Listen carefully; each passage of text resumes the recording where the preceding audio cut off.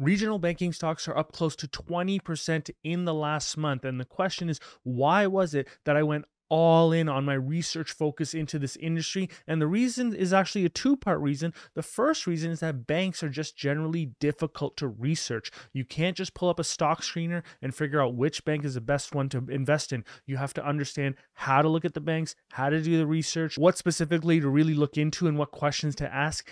And the second part is that a lot of value investors, when they saw the regional banking stocks collapse, they said, nope, this is too much risk. I don't want to look into it. And so you have these two items, which becomes a value investor's dream because you have an industry that's difficult to research. So, not a lot of competition in terms of people trying to do the research and dig into it really well. And two, obviously, not a lot of the smart value investors are digging into it. They just rather have somebody else do it and eh, eh, invest into the industry. And so you end up having this dream situation, which is exactly why I went all in in the banking space when everything was collapsing. And what I want to do in this video is talk to what has happened and what's uh, essentially what has transpired since then. And are there any other opportunities that are remaining in this space, or what do the next six months look like? And so, as you guys smash that like button, let me run that intro. What's up guys and welcome back to the channel. And I want to see a lot of meows from the OGs of this channel. Now let's dive right into this. So you can see the S&P 500 has done well over the last month. There's been a lot of uh, optimism with the uh, with, with, with the index as a whole. Uh, year to date, it's done very well, and you can see, of course, it got eclipsed by the uh, regional banking ETF over the last month. It's up 18 percent or just over 18%. And specifically with my two favorite names, which were US Bancorp and Citizens Financial, uh, they actually outperformed the banking index. It was interesting to see Citizens lag behind a little bit, but then they caught up. So you can see that they outperformed a little bit uh, relative to the index. So, you know, getting 20% in the last month, that's not a bad move. Now, the question is, how exactly did I determine that these two banks were the ones that I was going to concentrate into? In fact, I have another one as well. And just quickly, you guys would have seen this in my uh, earlier videos that I did on the regional banking space, where I analyzed 63 national and regional banks using many key performance risk indicators, including these nine up above here. Now, the question you might be asking is okay, yeah, if I get access to this uh, banking comps, how am I really going to know how to use it? How am I going to uh, understand exactly what these items are? How will it make sense to me? And so, what I did was I actually gave you guys a free regional banking analysis course, which is just a part of that higher tier. Uh, it's just an added benefit. And what I did was I walked through that schedule or the comps and I reviewed all of the key performance indicators for the banks. I applied those indicators to the banks as we analyzed them.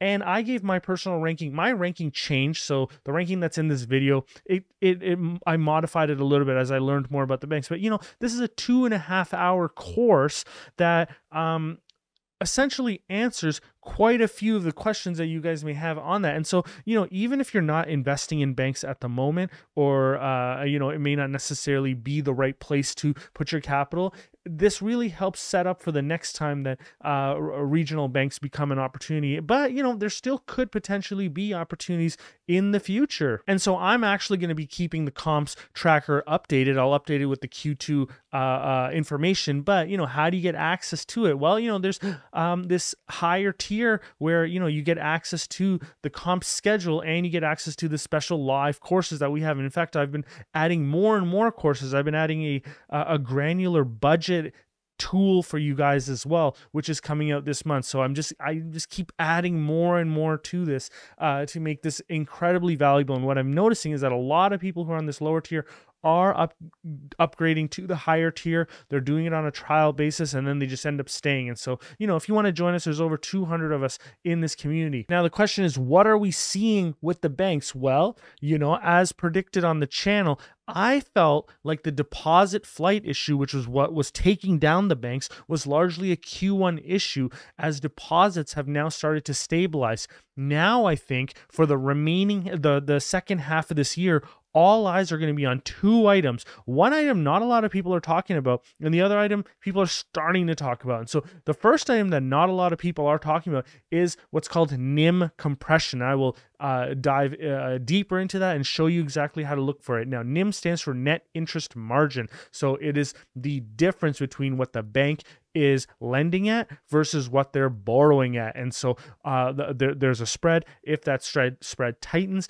the bank is just less profitable. And so you want to see that uh, expand as much as possible. And that is compressing right now because more and more deposits are moving into interest bearing accounts. And then, of course, the, uh, the risk that a lot of people are talking about, or I guess I'm seeing some people talk about it, is portfolio risk. So, what is the commercial real estate exposure? And as I've said on this channel before, commercial real estate is, uh, is an all encompassing term, but the items in commercial real estate are different and they have different risk elements. This is where you know, if you're a, a, a, very careful investor and you do your research, you can find banks that have high amounts of commercial real estate exposure. So, you know, they are, are, are deemed as riskier. But when you dig into what exactly that commercial real estate exposure is, you notice that they actually are lower risk than uh, what the market actually believes that they are. And so, you know, overall, deposits look to be stabilizing. But notice banks had to pay much more interest to keep depositors around, and some relied more heavily on other high cost funding, and that's the banks. They're, they're uh, relying on wholesale funding. And so this actually, this situation here with the NIM compression might actually create another opportunity to purchase regional banks or get into banks in general in the second half of 2023. And so that's why I'm keeping my comps tracker updated. And essentially what I'm doing is I'm updating all of the book value per share uh, for all of the companies on the tracker, and I'm going to add more companies to the tracker uh, because I do believe that there could be an opportunity here because not a lot of people are concerned right now about NIM compression, but I, I very much think that that could become an issue. Look, I'm saying could uh, it may not necessarily happen, but you know I'm to be ready for it if it if it does. Now you can see with Citizens deposits rose three percent, which was nice. M&T actually also reported a deposit increase.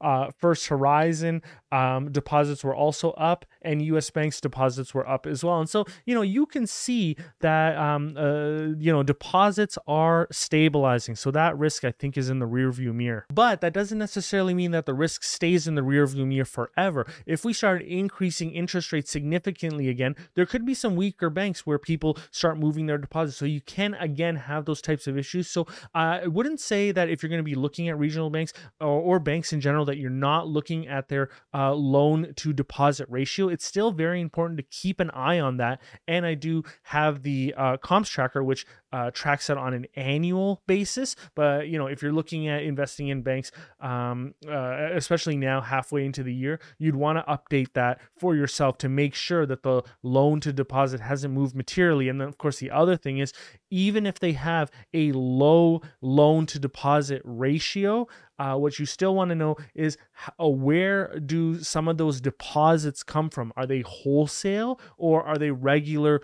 uh, cheaper deposits? And you know, are they going to be relying on more wholesale deposits if there is even, even a slight uh, flight? And then what does that do to the NIM uh, of the company as a whole. We've seen quite a few banks, and we talked about it on our monthly calls, where their NIMs absolutely collapsed because they had a wholesale funding model or they relied more on wholesale funding than you would have thought that they would have would have had to. But you saw it just by looking at their schedules that you know what there was risk here, and then it materialized. So be very careful. Now, two things can be true at the same time. I could have done very well with the regional banks, which I did do. However, that doesn't necessarily mean that I can't can't get my butt handed to me in the second half. And so these are the things that I'm looking for with regional bank earnings as we go into the second half of 2023. The first, of course, is NIM compression, and the second, of course, is portfolio risk, and, and that's commercial real estate exposure. And so, in the back half of this video, I'm going to show you exactly how I look at that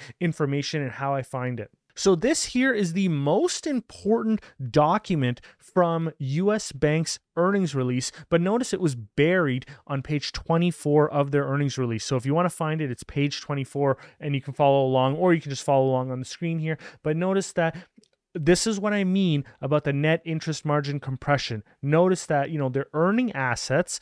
Uh, so this is uh, the first part of it. This is uh, this is um, uh, what they're lending at. Notice that their lending rates have definitely increased because their total earning assets were 2.88 percent, and then and that was last year, last year's quarter, and then in 2023 this quarter it's 2.06% so it actually increased however notice that the uh, their liabilities, their interest bearing liabilities, actually increased at a rate higher than the 2.06% at 2.2%. And that's because you were paying out at 40 basis points before, and now you're paying out at 2.6%. So that is compressing your net interest margin. So they were initially earning $2, uh, 2.48%. Now they're earning 2.34. Now, the, all of their releases, they're going to quote this net interest margin, which has some adjusting items in it, but focus on the gross interest margin for directionality here. Uh, th- there's always complicating factors, so look into the specific items that make up the net interest margins. There's generally reconciliations that help you with that. But just from a directionality perspective, notice that even US Bank, even if they're going to say, look, our net interest margin actually expanded quarter over quarter, ask yourselves why is their gross interest margin uh, uh, uh, uh collapsing a little bit? Not necessarily collapsing, that's not the right word, but compressing a little bit. And so be very careful because I think this risk continues to materialize, especially especially if we have um, higher and higher rate increases, which I don't think we will. I think we're kind of done with that. But, you know, there might be a couple more rate increases, but, you know, you might have more and more consumers continue to move their uh, funds over. Now, look, is there a risk here with US Bank? Absolutely. Look, they have $128 billion that is, um, that is deposited at 1%. Can some of that move? Yes. Now, part of what's in here is funds that may not necessarily be able to move. Like, for example, uh, uh, accounts that uh, companies pay payroll out of or uh, checking accounts that people pay their mortgages out of, et cetera, et cetera. So there's a natural stickiness to interest checking accounts. However, you can very clearly see that the uh, money market savings account did increase year over year. And so I think this continues to increase. I think the interest checking account might decline. Uh, there is some risk there. I don't exactly know how much of it that is sticky. They don't provide the guidance, so it's very hard to tell, anyways. But just keep that in mind that there is this NIM compression issue, which you're even seeing with the best banks out there. And I do believe that US Bank is one of the best ones out there. Now, remember, I said that the commercial real estate risk is the second risk that I'm looking out for. And why am I focusing on commercial real estate? Well, recall, guys, that you know the work from home uh, uh, situation never really changed. There's a lot of offices in this environment, in this higher rate environment, where potentially the economy could slow, where they're looking to reevaluate their office footprints. There's still a lot of offices that are uh, remaining empty or not at full capacity, and so is there a risk three, four, five years down the road where some of these loans, um, as they come up, they are won't be able to refinance them. Do some of these buildings have to be sold, repurposed, et cetera, et cetera? And so it's a, a bit of a nightmare for a lender. And so you want the lender to show you exactly how much the risk is. And so we know that commercial real estate, ex office, or just commercial real estate as a whole, is 14% of the overall portfolio for uh, US Bank. But notice that they break out the office space because, like I said, commercial real estate is an all encompassing term and the risk profile on everything is not the same. So you can see ma- the majority of the commercial real estate is multifamily. I'm not worried about that, especially in an environment where you can't buy homes. The other one is, of course, real estate, which again, I'm not too worried about. The only area that I'm really worried about is the office space. So that's 2% of the portfolio. Now, they're telling you that their office uh, portfolio, the origination loan to value is 55%. So you got 45% to work with. Uh, and so I think you have a very comfortable margin there uh, if you need to sell off a building. And so I think they're fine there. And then once again, they're telling you that commercial office, um, uh, commercial real estate office exposure represents 2% of the total loans and 1% of total commitments. So you're, you have very low exposure. You know, if the whole office portfolio decided to um, uh, uh, become non-performing. I think just the what they have on the balance sheet is good enough uh, to have already hedged for it. But essentially, what I'm saying is that it's not going to uh, destroy the bank. The bank's not going to go out of business overnight with uh, a couple of major uh, office buildings um, going bankrupt or, or, or those loans going bad. Now, they do speak to the credit quality of their commercial real estate portfolio as well. So I love the additional disclosure. And you can see that there's no real signs of material deterioration deterioration in the commercial real estate portfolio. Recall, guys, that I said material deterioration because we are seeing some deterioration, right? Like the non performing loans was very low at 52 basis points. It's increased to 87 basis points. So that's something to keep an eye on. I'm not too worried about it, uh, especially considering that the 90 plus day delinquencies is still at zero. So the only thing that's happened is you got some 30 to 89s. So let, next quarter, we'll see how many of these transit uh, transition themselves into the 90 plus. Uh, I suspect that it it's not going to happen or not, not a material amount of it will go into the 90 plus. But if it does, then how much of those end up in the non-performing loans? So you know we'll see. Um, but you know this is just something to pay attention to. Uh, their net charge-off rate remains pretty low at 19 basis points. So you know nothing to uh, uh, be overly worried about right now. But if you're gonna focus on anything, it's this slide, and uh, we'll see how it plays out uh, into the next couple of quarters. But overall, I'm not concerned about material deterioration in the commercial real estate portfolio. Nothing that they can't handle.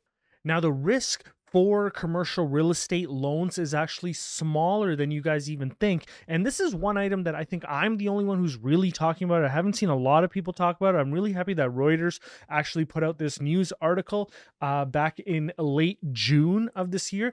And this is what's happening US banks are actually selling parts of their loan portfolios to private lenders. And why are they doing this? Well, it's to offload some of that excess risk that they're not comfortable holding. And so I, I, put it right here. This relatively quiet earnings seasons will give the regional banks that are feeling some pressure to continue to get some risk concentration off of their books. And this should stabilize and de risk the industry further going into the back half of 2023. So you can see that even if a bank currently reports a little bit of excess exposure with office real estate, they can offload some of that to somebody else, not even in the banking space, just private equity who wants to take on some of that additional exposure and is comfortable with the risk profile. And so overall, I think the industry de risks more as time goes on into the back half of the year, but it's still something that we'll pay attention to. The number one issue, of course, that I'm focusing on is that NIM compression, which I don't think a lot of people have been speaking about. I've seen some of it being spoken about, but really, I've been hearing the CEOs talk about it in their conference calls and not so much the news articles speaking about it. So I think that will become a bigger and bigger theme as the back half of this year continues. But the, what that can do is actually create opportunities because some people might see that, get scared sell off these banks, and then we might get a little bit of a yo yo effect, which of course could create some wonderful opportunities in the space. And that's what I'm going to be continuing to pay attention to. And so just because the stocks ran up doesn't necessarily mean that they're not going to run back down. But of course, that means that there may be opportunity for more acquisitions of these banks at good prices. And so you guys let me know what you're seeing. If you guys are looking at this, let me know if there's indicators that you might want to see added to the comps tracker as well. And of course, I'll link to the latest video that I had on the banking industry, which you can connect to right here.